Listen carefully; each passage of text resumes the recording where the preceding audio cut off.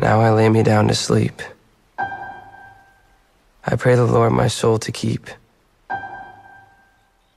If I should die before I wake, I pray the Lord